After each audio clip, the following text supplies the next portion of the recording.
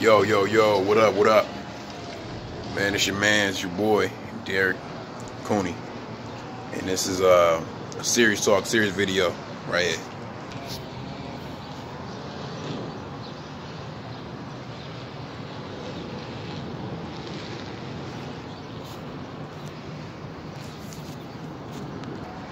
Alright, so I'm gonna try to make this uh, video very short.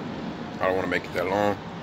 It's not really much to say. I mean, uh, you don't, because at the end of the day, whatever you believe in is what you believe in. But a lot of people, um, I've been hearing around this time of uh, struggles and stuff like that. A lot of people have been saying that, uh, you know, they would say that you are God or we are God and stuff like that. Um, I don't believe in that. I don't believe that um, I'm a God. I don't believe I'm a God.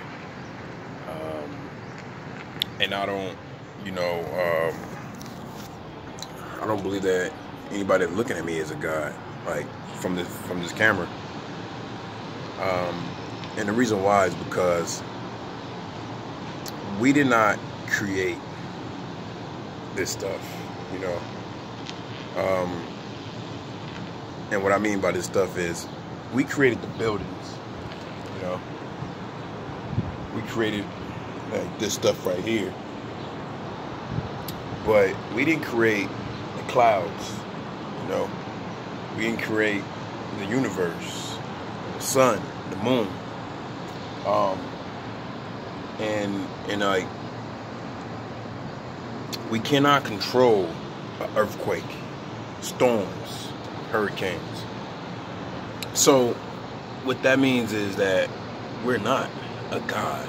We're not Jesus Christ because we can't, I can't make you guys go to heaven. I can't die for your sins. Only person y'all can go to is Jesus. That's it. And I can't accept y'all into the afterlife. Only person can accept y'all is God. Because He created you, right?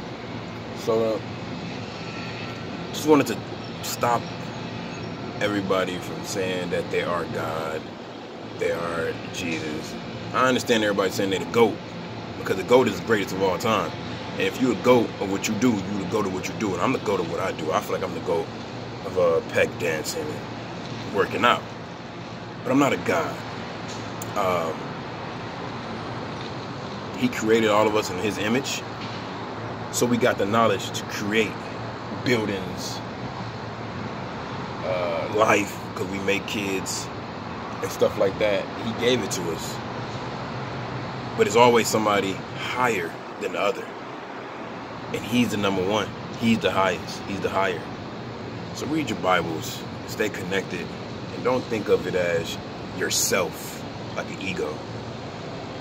I just want to make this real short though, man. As I see the birds flying in the sky, I didn't create a bird, so I'm not God.